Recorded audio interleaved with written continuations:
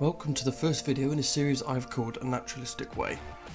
The aim of this series is to show how you can create a naturalistic and enriching enclosure for your animals. This one is showing you my Varanus acanthurus or Ackie-monitor enclosure. In this video you will see how my pair act over the course of a day and exhibit some natural behaviours yet remain hand tame.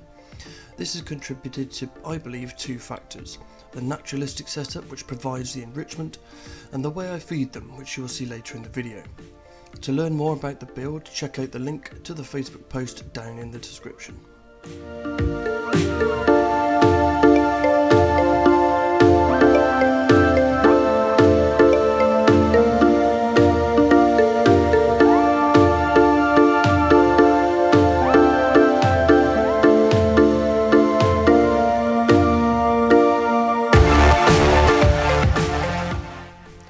With the use of grasses and leaf litter, scatter feeding encourages the foraging you see here. I scatter feed either roaches, locusts or crickets, mixing it up every two or three days.